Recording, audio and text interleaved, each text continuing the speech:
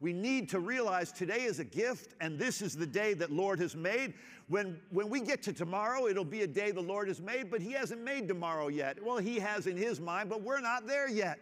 We're in today, and so let us rejoice and be glad in it. We got to stop waiting for our, even our prayers to be answered. We have to rejoice and be glad in it. What's the it that he said to be glad in? This is the day the Lord has made. Let us rejoice and be glad in it.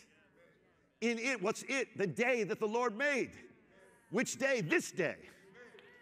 This is the day the Lord has made. I will rejoice and be glad in it.